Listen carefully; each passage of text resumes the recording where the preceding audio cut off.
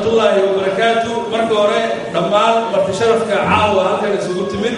Waxaan idinku soo dhaweynaynaa gacmo furan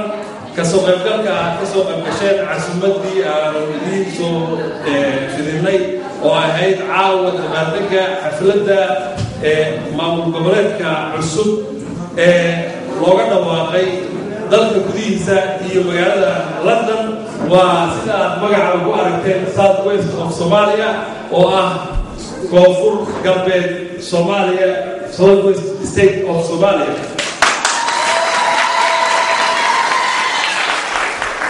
Waxaan caawa halkan u fadhinaa oo ay bishu tahay toddobada may magaalada london xafladan caleemasaarka aan ugu dabaaldegayno madaxweynaha cusub doctor cabdikariim maxamed cali yaayuro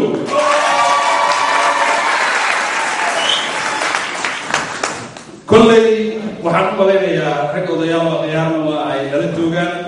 hadalka kasii hordhici maayo laakiin maadaama ummad islaam aynu nahay aan ku bilaabno aayadii qur-aanka kariimka waxaan u yeerayaa sheekh abubakar yunis inuu marka hore aayadii qur-aanka أعوذ بالله من الشيطان الرجيم من يهد الله فلا مضل له ومن يضلل الله فلا هادي له إلهي القرآن جيد قال الله تعالى يا أيها الذين آمنوا أطيعوا الله وأطيعوا الرسول وأولي الأمر منكم. فإن تنازعتم في شيء فردوه إلى الله. إلهي القرآن أساسا بشيء يا أيها الناس اتقوا ربكم واخشوا يوما لا تجزي والد عن ولده ولا مولود له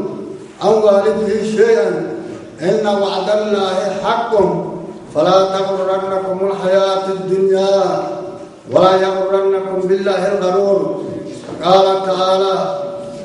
يا أيها الذين آمنوا اتقوا الله حق تقاته ولا تموتن إلا وأنتم مسلمون. أنتاس إلهي قرآن واي ما يلسين كباهنا دقل المرفلة يعني مدحوين دورني مدحوين دورني إن إلهي يعني سنة يعني عمرك يا عباد الله إلهي هسيو ونون قد يعني مارك يعني مدحوينك دم عليهم ودكر أنت يعني يعني أكدرس ده والسلام عليكم ورحمة الله وبركاته xafladii maamul goboleedka south west state of somalia waayahay maadaama aynu caawa martabaha uga jirno dabaaldega xafladda tan aynu isugu nimid waxaan jeclaan lahaa si aan marka hore ujeeddada kulankeena aan uga helno warbixin dheeriya. Waxaan u yeerayaa waa cabdiqaadir maxamed axmed dhagacadde si uu halkan ujeeddada kulankeena uu warbixin dheeriya nooga siiyo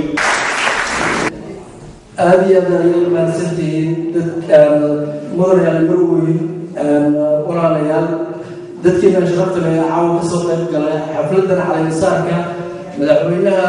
dowlad goboleedka koonfur galbeed sidaan la socono intiina badan aa laga yaaba inaad ka horreysin maamul goboleedka koonfur galbeed soomaaliya waxaa la aasaasay bishii abriil sanadii two thousand two labadii kun iyo labadii xilligaas ilaa hadda maamulkaasi wuxuu ahaa maamul taagan. Waktigaana waxaa madaxweyne loogu magacaabay inuu ka noqdo doctor xasan maxamed nuur shaarguduud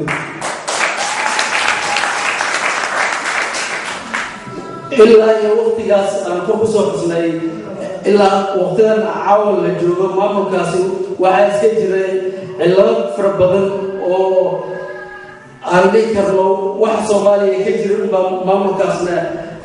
xoogaa dib u dhigay. Laakiin markaan dhinacyo badan laysla fiiriyo dadkii deegaanka ku abtirsanayay waxaa la go'aansaday in maamulkii dib loo hirgeliyo oo dib lagu sameeyo. Sidaa darteed ayaa waxay caawa ku soo beegatay xafladda caleemisaarka in xilkii madaxweynimadii goboleedka koonfur galbeed lagu wareejiyo mudane doctor cabdikariim maxamed cali yaamurow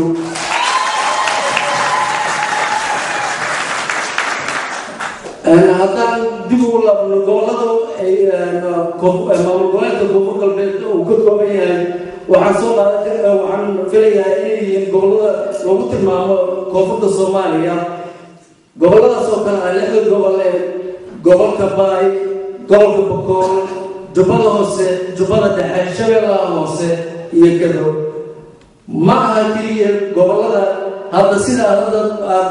dadka qaar ay u dhigi karaan ma aha in ay degaan hal qabiil keliya u degan yahay gobolladaas gobolladaas waxaa degan dad badan oo soomaaliya oo la dhihi karo qabaa'ilada kala duwan ee soomaaliya badankood inay ku nool yihiin gobolladaas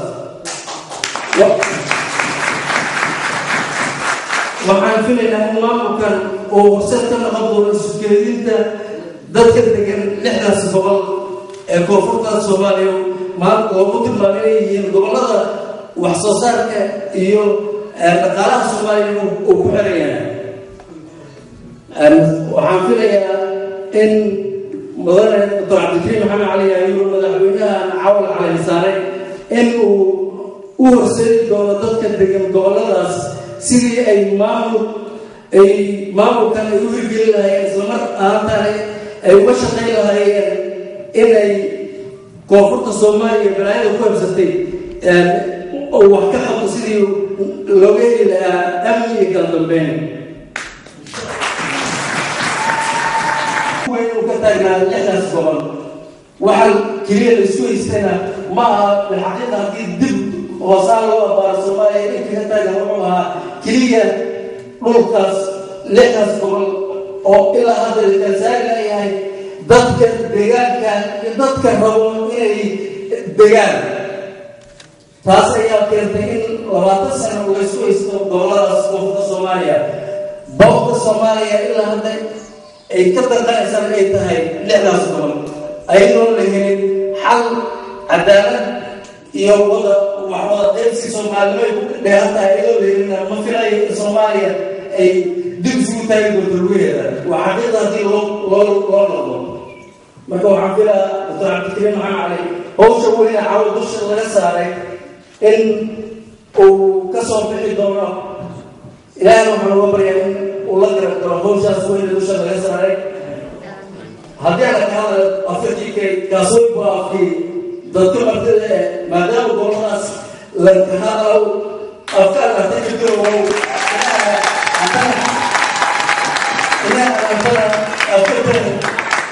يعني كشيء ذلك أزولوي ذلك اللي توقع مناطقان هذا ويبقى أوي إن الصومالية لا نتيو لنركب الصومالية تقارير كوامركم لأنه هذه لا haddii nagata haddii nagato walaalo leero qudaar nagatoy nagatoy xoolo nagatoy nagatoy misgeyi waayla amay nagatoy meri lagu sheenayo waay doonta waana la elan doonaa